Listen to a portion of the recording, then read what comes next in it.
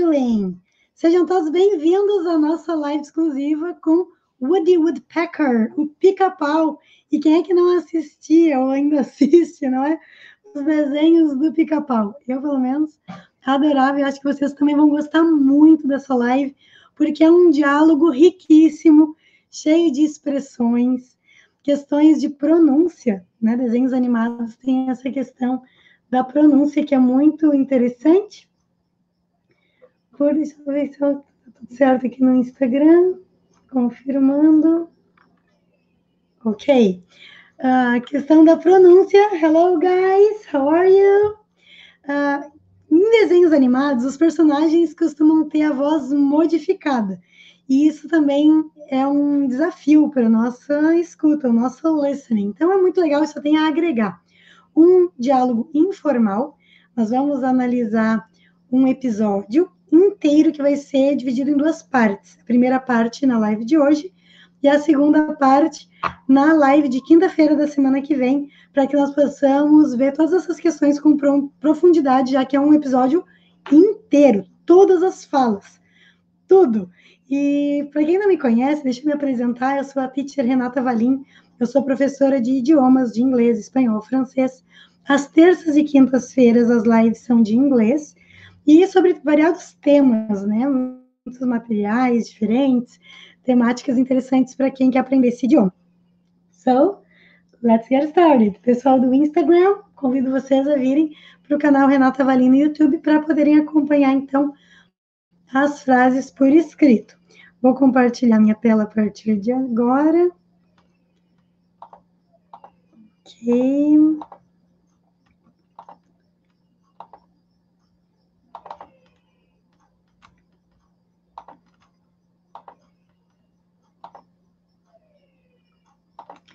So, Woody Woodpecker, first part.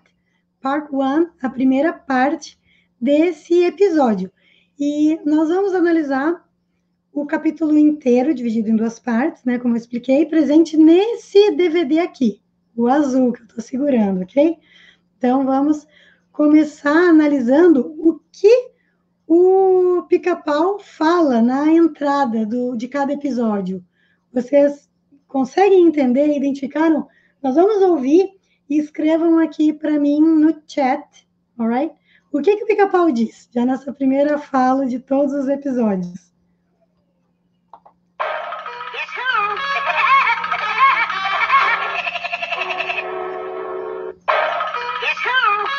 O que ele está falando aqui, pessoal? Escrevam aí para mim, ok? Eu sei que tem um delayzinho, então vou dar um tempinho. Enquanto isso, vou comentando que esse episódio que nós vamos analisar hoje é de 1941. É um episódio bem antigo e tem esse diálogo bem peculiar, né, informalmente. Nós vamos ver questões muito interessantes. Então, fiquem comigo até o final para vocês verem, assim, coisas muito legais. Ok? mais uma vez aqui enquanto vocês.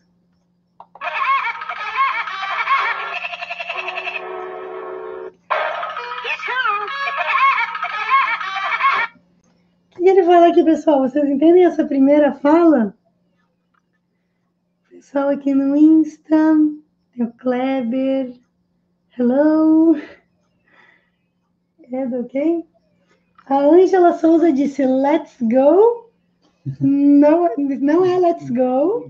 Da Giovanni ali botou é legal. Ele fala uma, uma, frasinha aqui em inglês. O que, que fica falando já na abertura desse desenho? Vamos ver. Não é Let's Go. Então vamos ver o que, ele fala. André Luiz, boa noite. Sou de Pouso Alegre, Minas Gerais. Ele diz Let's go. No, it's not Let's go. Vamos, vamos ver, vamos analisar o que ele fala aqui. Mais uma vez. Não é let's go, gente. It's cool. No, it's not. It's cool. Ah, que legal. Então vamos lá. Ele fala guess who? Guess who? E o que, que significa guess who? Agora digam aí para mim. O que, que significa esse guess who que ele fala aqui?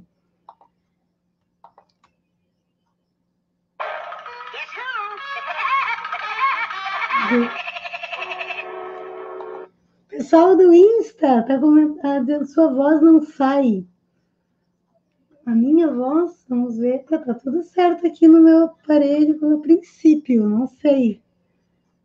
Kleber diz, está sem som, não tem áudio. Verifica aí no seu aparelho se está tudo certo com o seu áudio também. Ok? E, de qualquer forma, aqui são os bastidores, né? Convido sempre o pessoal a vir para o YouTube. Bom, pessoal, vamos lá. Guess who?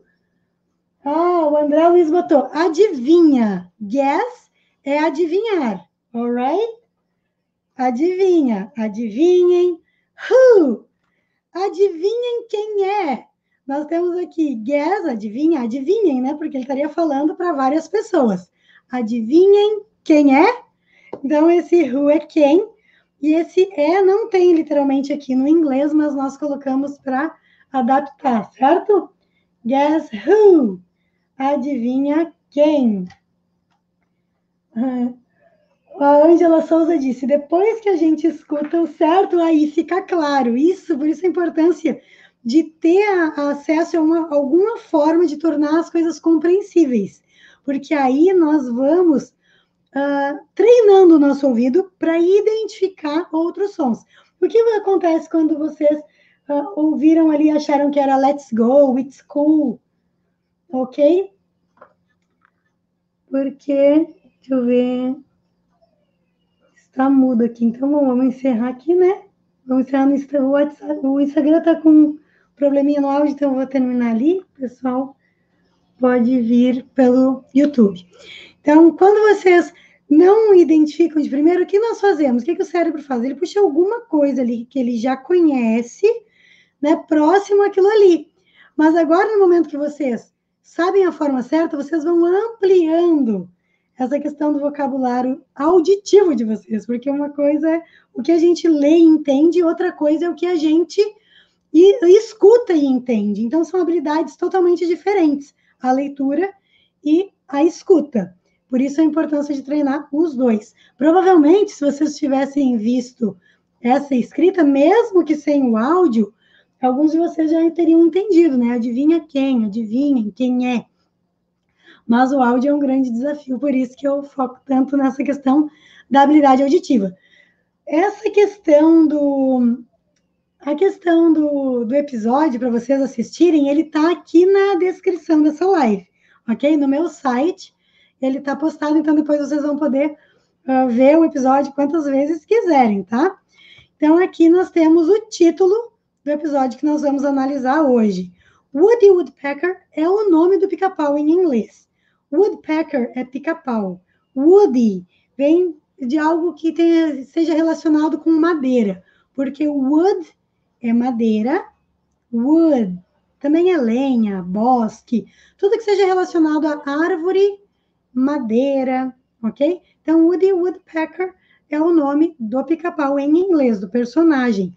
Woodpecker simplesmente é a ave, pica-pau. Tá? Então, é saber que ele tem um nome próprio dele, que é Woody Woodpecker.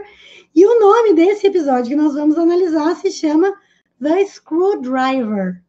The Screwdriver, e eu quero saber se vocês compreendem esse título.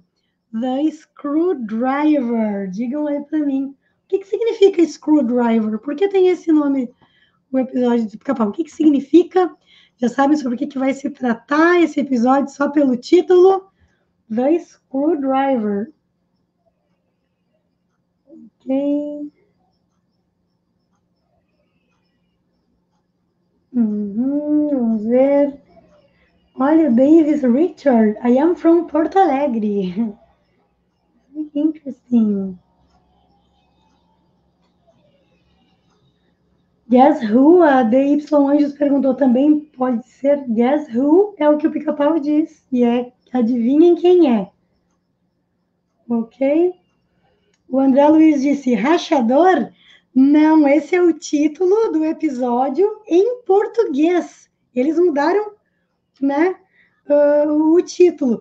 Claro, de certa forma, né? Nós vamos, com a análise do episódio de hoje, vocês vão ver por que desse título, tá? Vocês vão entender exatamente por quê, mas não é exatamente rachador. Inclusive, a palavra rachador aparece várias vezes ao longo desse diálogo, e vocês vão saber a forma certa de dizer rachador. Aqui teve uma, uma adaptação, tá? No título. Bom, para início de conversa, screwdriver. Se vocês procurarem no tradutor, no dicionário, vocês vão encontrar que screwdriver é uma chave de fenda. Mas e aí, o que, que isso tem a ver com o desenho do pica-pau? Se continuem comigo, vocês vão já já saber porque o nome desse episódio é Screwdriver. Bom, preciso salientar também que screw significa parafuso. Screw, parafuso, screwdriver, a chave de fenda, porque driver, ela né, conduz ali o parafuso. Ok, mas e aí, o que, que isso tem a ver com o desenho do pica-pau? Vejam que temos um idiom, que é uma expressão idiomática em inglês, exatamente como nós temos no português. Sabe aquilo de ter um parafuso solto? Em inglês, essa expressão também existe e é have a screw loose. Have a screw loose. Ter um parafuso solto. Literalmente, ter um parafuso solto. Sem fazer aquela inversão clássica de colocar a característica na frente, que até estavam comentando aqui agora há pouco. Uh, Manani disse, por que no inglês as palavras mudam de lugar? Exemplo, uh, caneta azul, estaria errado dizer pen blue, o certo seria blue pen. Porque em inglês as características, tudo que dá uma qualidade para alguma coisa, vem na frente, vem primeiro. Então aqui é uma exceção e justamente por isso é uma expressão idiomática. Primeiro, porque não significa literalmente ao pé da letra. Ter, né, uh, um, um, parafuso solto. Ninguém tem parafuso na cabeça, mas isso significa ser estranho, meio maluquinho, né? Alguma pessoa assim que tem esses comportamentos. Então, have a screw loose. Atenção à pronúncia. Luz, luz, com som de dois S's. Isso significa solto. Uma roupa é larga, folgada. E nós não podemos dizer lose com som de Z, porque lose é perder. Lose. A diferença é que se escreve apenas com um S, com uma letra O. L-O-S-E. Lose, perder. Lose com dois Os é então folgado e largo. Loser é um perdedor. Lost é perdido. Então não confundam, são palavras diferentes, tá? Aqui com dois Os é solto. Lose. Have screw loose. Vejam aqui um, uma imagem que se encontra aí facilmente na internet, tem muitas memes e imagens sobre esse, esse idiom, sobre essa expressão idiomática. I do not have a screw loose. I have a screw missing. I do not have a screw loose. I have a screw missing. Eu não tenho um parafuso solto. Eu tenho um parafuso faltando. ok? Tem outras variações. Tem com minions né? I do not have a screw loose. It fell out. Que diz que o parafuso caiu, perdeu o parafuso, ok? Então, nós temos essa, essa expressão idiomática. E nós temos a palavra screwy em inglês. Vejam, screw é parafuso, screwy com esse Y a mais, para dizer maluco. Tá? Uma pessoa maluca, uma ideia maluca, algo que é meio maluquinho, ou então que é muito estranho. Screwy. Até coloquei aqui The Fresh Prince of Bel-Air, que no português colocaram como né, um maluco no pedaço. Nós também podemos fazer aí uma live futuramente com o Maluco no Pedaço. Digam aí para mim se vocês gostam desse seriado, se vocês assistiam, ok? Deixem aí no chat, né? Eu quero uma live com The Fresh Prince of Bel-Air ou não, mas eu coloquei aqui para ilustrar que Screwy é maluco. Então tá, já sabemos que screw é parafuso, have a screw loose é ter um parafuso solto, screwdriver é a chave de fenda. Bom, screwy é maluco, driver é motorista. Estamos chegando aí a, a começar a entender por que, que o título desse episódio é The Screwdriver, que nada tem a ver com a chave de fenda, mas sim com o fato de screw ter essa relação com maluco. Então, ele é um motorista biruta, um motorista maluco. E esse aqui, o pica-pau louco, né? Que a gente diz lá, o pica-pau louco, que quando a gente é criança, a gente não costuma gostar muito dessa versão do pica-pau. Não sei quanto a vocês. Contem aqui para mim também o que, que vocês achavam desse pica-pau louco com essas perninhas mais grossas, com esse, né, o penachinho da cabeça para trás. Eu lembro que eu não gostava muito. Mas sabe por que as crianças geralmente não gostam muito? Porque esses desenhos não foram feitos necessariamente para crianças, mas sim para adultos. Esse é um desenho de 1941 e pelos diálogos que se apresentam aqui, já começando pelo título, vocês percebem claramente que se trata de um desenho para adultos, ok? Então, aqui o pessoal, ó, colocando que adora, que poderia sim fazer com The Fresh Prince of Bel-Air, amo o Maluco no Pedaço, perfeito, pessoal. Ok, o Mauro Sérgio disse que não, não gostava do pica-pau, né? Desse pica-pau aqui. A Lília, nossa, esse pica-pau era um capeta. Sim, os desenhos não são para crianças, e sim para adultos. E aqui, então, o Screwdriver, nós podemos entender como o motorista maluco, meio louco, mas olha só, Screwdriver, além de ser chave de fenda, né? Que aqui nós vimos que o título é The Screwdriver, tudo junto, uma palavra só, que pode ser chave de fenda, mas também é um coquetel, é uma bebida alcoólica. Então, ali, esse título é um trocadilho. Um motorista maluco, um motorista bêbado, enfim, né? Porque ele anda em alta velocidade. Esse episódio é muito interessante. Então, vamos começar a analisar linha por linha desse episódio, agora que vocês já entenderam a fundo o título dele. Aqui ele começa cantando uma canção, tá? Depois vocês acessem o, o link aqui na descrição para vocês relembrarem esse episódio. Everybody thinks I'm screwy. Screwy. Everybody. Todo mundo thinks. Acha, pensa. Atenção que aqui nós temos que ter esse S para dizer que todo mundo acha todo mundo pensa. Tem que ter esse S para concordar com everybody, ok? Everybody thinks. Sempre pensem na estrutura, por isso eu coloquei em azul, porque nós não podemos olhar as, as palavras isoladamente, nós temos que ver a combinação de palavras para entender a estrutura. Todo mundo acha que esse que não aparece aqui no inglês, por isso eu botei em preto, não tem um equivalente aqui, só os inteligentes podem ver aqui esse que escondido. I'm screwy, screwy.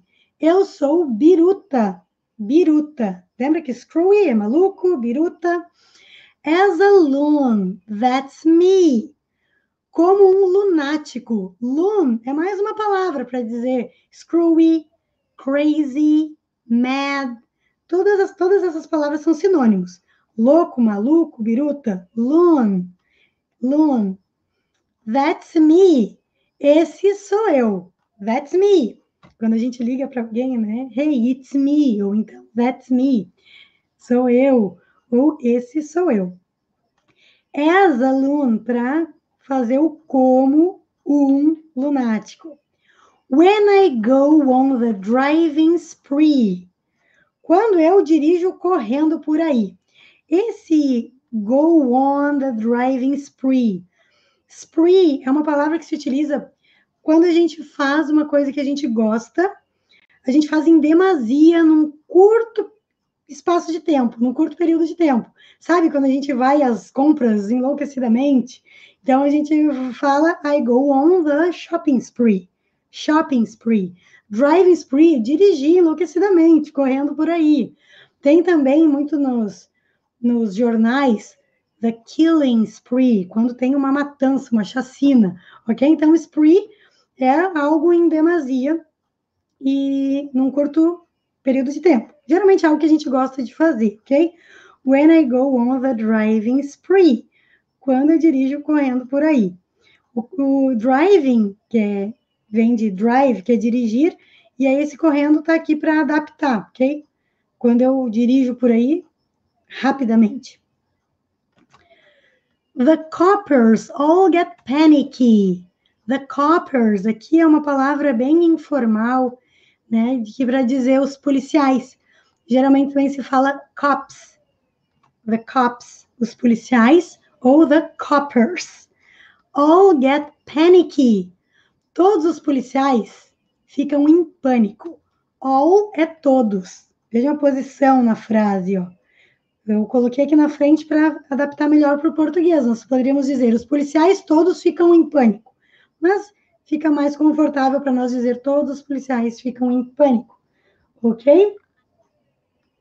Isso é o que prova que nós não podemos falar inglês a partir do português. Nós temos que partir de uma estrutura diretamente em inglês e observar como essas palavras se apresentam. On my horn, com a minha buzina.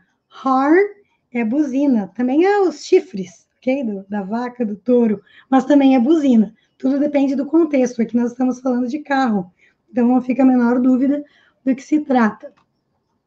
Strip my gears. Tiram meus equipamentos. Gears são equipamentos, também são as marchas. E strip, que vem de tirar, por isso que é strip tease, né? Strip tease, tirar as roupas. Então, strip my gears, tiram meus equipamentos. So, I'm screwy. Então, eu sou biruta, sou maluquinho. So, I'm screwy. E tudo isso aqui ele está cantando, por isso eu coloquei em itálico. What, what, what can I do? I ask you. O que, o que, o que eu posso fazer? What can I do? O que eu posso fazer? É uma pergunta. Essa é a estrutura de pergunta. I ask you. Eu pergunto a você. Eu te pergunto. Aí ele passa por uma loira no cruzamento né? E eles começam a girar. Aí ele diz: That's the dizziest blonde I ever went around with. That's the dizziest blonde. Essa é a loira mais estonteante com quem eu já dei uma volta. Aqui novamente um trocadilho, porque a gente fala que deu uma volta com alguém, a gente saiu com a pessoa, né? A gente deu uma volta com ela. Mas ali ele deu uma volta literalmente. Os dois carros se cruzaram e eles começaram a girar, ok? Então é cheio desses trocadilhos. Dizzy com Y aqui no final, D-I-Z-Z-Y, é tonto. Dizziest é a mais estonteante, ok? De todos. The dizziest blonde. Ok? Vejam que é um vocabulário nada infantil. Vejam aqui, ele falou a loira mais estonteante com quem eu já saí, com quem eu dei uma volta. E falando que os policiais né, ficam em pânico quando eles saem nas ruas, que eles saem dirigindo loucamente e tiram os equipamentos dele, enfim. Esse I ever went dá essa ideia de com quem eu já saí, com quem eu já dei uma volta em toda a minha vida, alright? Ah, o fato é que aqui no Brasil eles acabam atenuando as coisas através das traduções, né? Por isso que não são fiéis, eles adaptam de acordo com a cultura e a aceitabilidade do público. So, what are you looking for, Sarge? Aí ele encontra então o policial. What are you looking for? O que você está procurando? Looking for, procurando. Look é olhar, look for, procurar, looking for, procurando. Vejam a estrutura. What are you looking for? O que você está procurando? Vocês podem substituir essa parte laranja para dizer qualquer outra coisa, né? What are you studying? O que você está estudando? What are you watching? O que você está assistindo? E assim por diante. Sarge, aqui como uma abreviação de sergeant, sargento. Agora vem a palavra rachadores. I'm looking for speeders eu estou procurando rachadores. Vejam que speed é velocidade. Então, speeders são aquelas pessoas que andam em alta velocidade.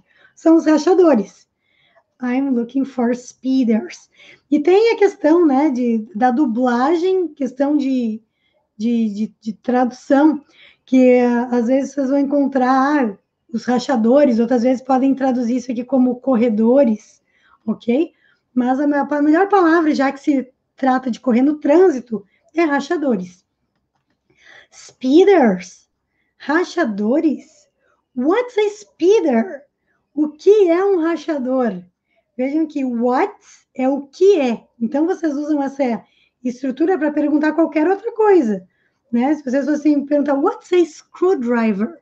What's a screwdriver? O que é um screwdriver? Né? E a pessoa vai dizer, oh, it's a tool, é uma ferramenta. Ou it's a cocktail, é um coquetel, uma bebida. Enfim. E esse what, que é o que, também pode ser qual é. Lembram da frase famosa? What's your name? What's your name? Qual é o seu nome? What's a speeder? O que é um rachador? Então, tudo vai depender do todo da frase. Right? A speeder is a guy that goes. A speeder is a guy that goes. Um rachador é um cara que vai e aí ele faz o som com a boca, né? Imitando o carro andando em alta velocidade. Aí o pica-pau, muito malandro, começa a cuspir no cara. A cuspir no cara. Ele diz: You mean like this? Você quer dizer assim? E aí faz aquele barulho cuspindo no, no rosto dele. You mean, você quer dizer, ok? Like this. Duas palavras para dizer assim. Like this. Aí você mostra.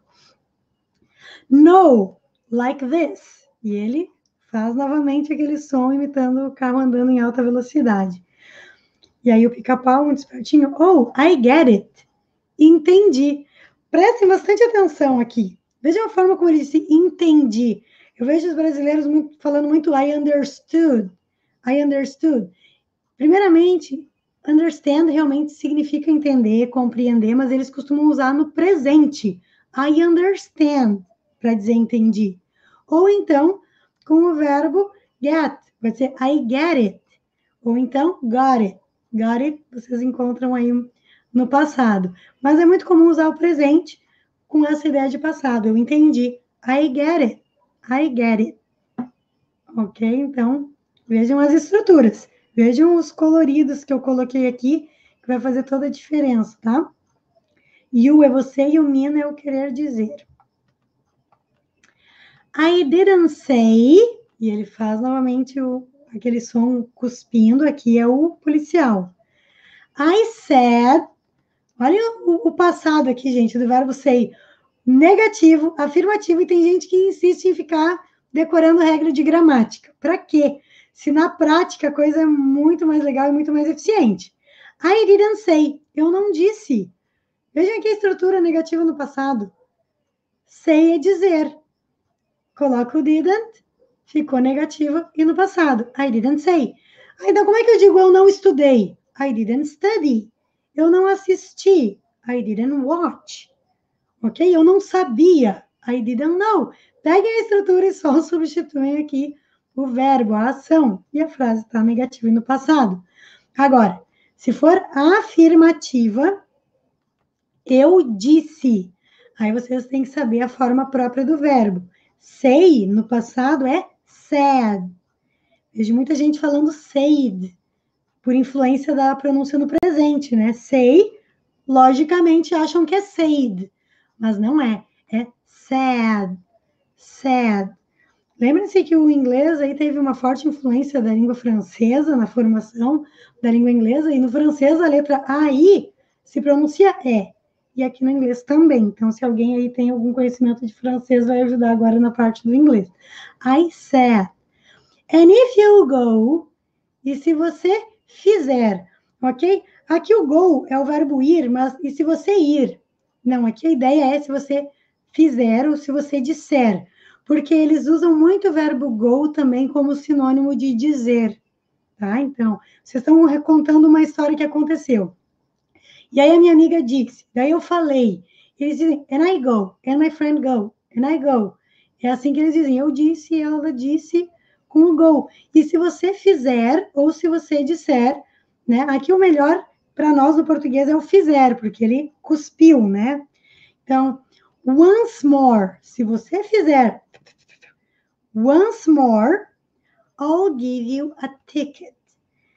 Olha, eu coloquei em vermelho vermelho essa estrutura aqui, porque essa aqui também é uma das campeãs de erros que eu vejo por aí. As pessoas pensam em português e erram no inglês.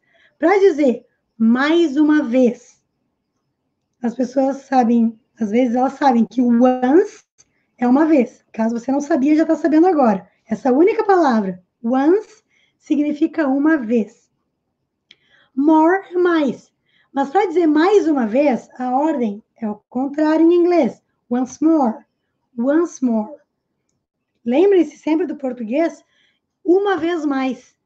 Tá? Já, enquanto vocês estão nessa, nessa fase transitória entre ainda não conseguem se desvencilhar totalmente do português, porque é uma fase, é natural. Isso acontece e vai passar se você continuar aí se expondo, praticando da forma certa. Mas então vocês pensem sempre em português. Ah, no caso de uma vez mais. Fica com essa estrutura no português na. Uma vez mais. Once more. Ok? Once more. Deixa o inglês afetar o seu português e não o português afetar o seu inglês, que não vai dar certo. I'll give you a ticket. Eu vou lhe dar, eu te darei. Give é dar. Esse apóstrofo dois L's é o futuro. Eu vou lhe dar ou eu lhe darei a ticket. Aquela palavra ticket, que pode ser uma entrada, uma passagem, um bilhete, também é uma multa. I'll give you a ticket. Uma outra palavra para dizer multa é fine. Sabe aquela palavra? How are you? I'm fine. Essa, exatamente essa palavra. Mesma pronúncia, mesma escrita. Também significa multa. Mas no trânsito, a gente ouve muito a ticket. Ok? I'll give you a ticket. E fine são sinônimos. Alright? Então, vamos lá, vamos seguindo. You mean I can't go? Aí ele faz de novo aquele ruído né, cuspindo nele. Vejam a maldade, né, do, do pica-pau. E o Mian, você quer dizer que eu não posso fazer. That's what I said. Olha o said aqui de novo, para vocês fixarem bem. That's what I said. Foi o que eu disse, ou é o que eu disse. Aqui está no presente. É o que eu disse. Mas no português nós poderíamos traduzir como foi o que eu disse, por estar no passado, né? No more, no more, sem mais, nada de. E aqui é legal, o André Luiz disse. Na dublagem ele fala, te passa o lápis, exatamente, para dar a multa. Vejam que não, não é literal, mas é a ideia, a interpretação. I'll give you a ticket. Não tem nenhuma palavra aqui que seja lápis, né? Passar o lápis, eu vou te dar uma multa. Eles fizeram uma forma para ficar mais cômica, eles fazem adaptações, alright? Atenção a essa, essa estrutura. No more, no more. Nada de. Literalmente, sem mais, porque o no, que é não, também é sem. No stress. Sem stress. No more, sem mais, ou nada de. A melhor tradução até é nada de, mas eu coloquei aqui para vocês saberem literalmente como é que se formou essa estrutura aqui e é possível dizer no português, né? Sem mais esse barulho aí. Oh, you mean like this. How's that, Sarge? Ah, você quer dizer assim. Que tal, sargento? E aí ele mostrou, né, para que veio. Andou lá em altíssima velocidade. How's that? Que tal? né? Como é isso, literalmente, é um que tal? Como é que foi isso? Como é que tá a sua opinião? Que tal, Sarge? Que tal, sargento? Então, ele diz: Yeah, that's it. That's the way a speeder goes. Sim, é isso. Essa é a forma que um rachador vai, ou seja, assim que um rachador anda, ok? Porque go é ir. Então, nós temos aqui that's the way. Essa é a forma, essa é a maneira que anda, o que vai um rachador. A speeder goes. Goes aqui é do verbo go, que é ir. A speeder goes. Tem que fazer essa, essa conjugação aqui, essa concordância, tá? Assim como era uh, everybody is, everybody wants. Sempre com S, everybody goes. A speeder goes também tem que ter esse Szinho aqui e esse E a mais.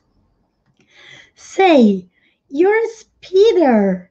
Say nós vimos que é dizer, também é utilizado para chamar atenção, assim, para demonstrar surpresa. Ei, sei, olha que interessante, curioso, né? Várias formas diferentes aqui de usar as palavras. A mesma coisa esse yeah, que é o sim informal. Tem o yes e tem o yeah, que é informal.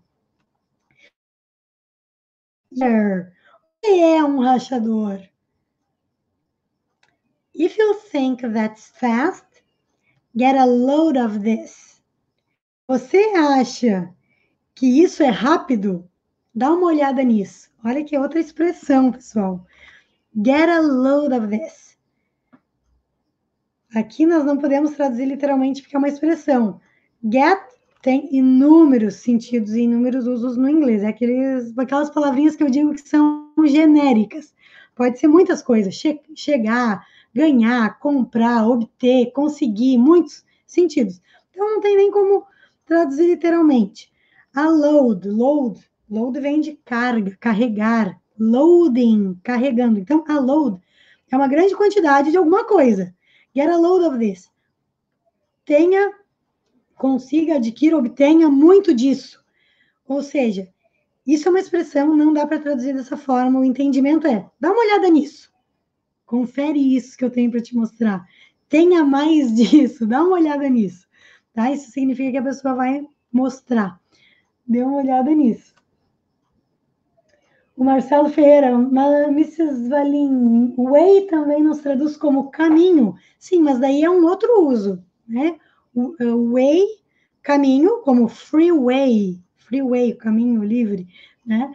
E nós temos way como forma, jeito, maneira. Então, tudo é o contexto que vai definir. Então, tudo isso está da mesma cor, porque isso tudo representa uma coisa só. Get a load of this. Lembre-se, quando forem mostrar, dá uma olhada nisso. Get a load of this. If you think that's fast. Fast é rápido. Uh, speed, lembra que é velocidade, ok? Speedy, com Y, né? Que daí também é veloz, rápido. Aí são sinônimos ok? Ah, a frase era everybody thinks, todo mundo acha, né? Que eu falei que tem o S, agora eu vi o think aqui, lembrei da frase anterior. A speeder goes, a speeder thinks, everybody goes, everybody thinks. É a mesma concordância, tá? Então, se você acha que isso foi rápido. E aí, ele dá aquela volta em alta velocidade de novo, vai até o Alasca e volta.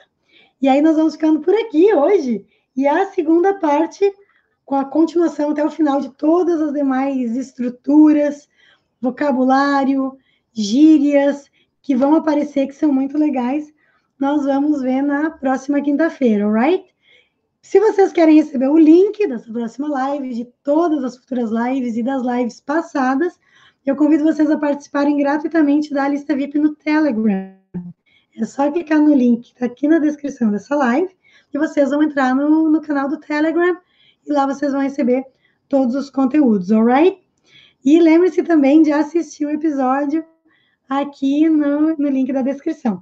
Lá no meu site vocês têm as transcrições e as traduções, mas a aula completa, com pronúncia, com explicações aprofundadas, vai ser na próxima quinta-feira. Então, eu vou encerrar meu compartilhamento. Alright, voltei. Quero agradecer a presença de todos vocês. Deixa eu ver quem está por aí. Muito obrigada a todo mundo participando aqui ativamente. Alright, isso aí, muito legal.